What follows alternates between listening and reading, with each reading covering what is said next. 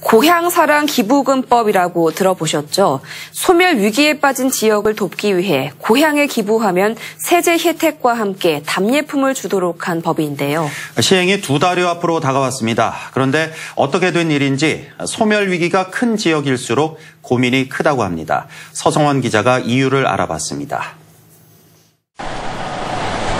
인구 10만 천여 명의 영천시에서 고향사랑 기부 업무를 보는 부서입니다.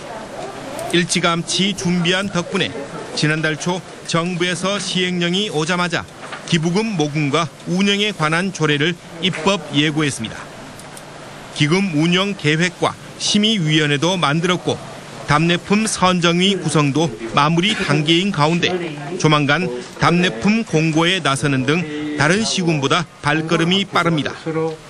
기부하시는 분들의 그 선호도를 조사하고 특히 영천 와인과 그 과일 등 지역 특산품과 관광문화 상품을 잘 조합해가지고 시민들이 그 소득 향상과 연결될 수 있도록 고민하고 있습니다. 군위군은 인구 2만 3천여 명, 울릉을 제외하면 경북에서 두 번째로 인구가 적어 소멸 위기감이 매우 큰 곳 가운데 하나입니다. 조례 제정이나 위원회 구성이 한창이기는 하지만 고민이 이만저만 아닙니다.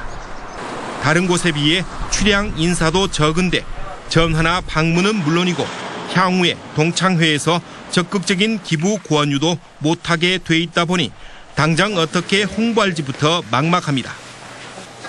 답례품을 어떤 걸로 할지도 고민입니다.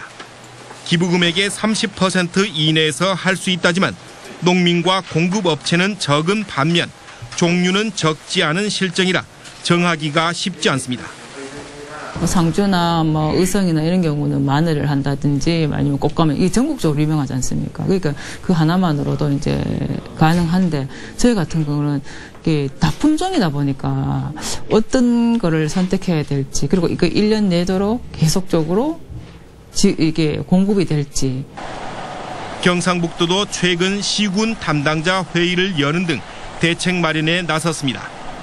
제품을 말리거나 제조하여 유통기간을 늘리는 방법과 벌초 대행, 관광 여행, 지역 사랑 상품권 등 다양한 방안을 찾고 있습니다.